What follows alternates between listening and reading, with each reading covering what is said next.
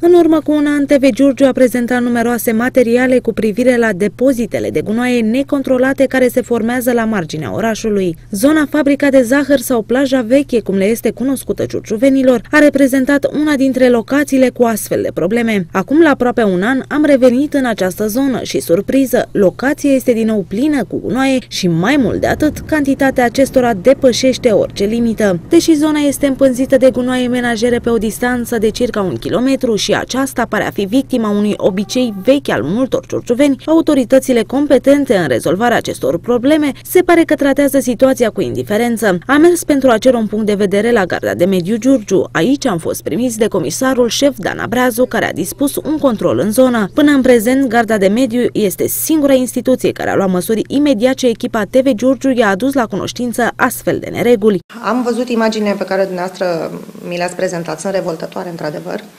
Uh, nu am avut cunoștință de aceste aspecte, sunteți primii care mi-aduceți în discuție lucrul acesta. Nu este niciun fel de problemă, cu maximă urgență.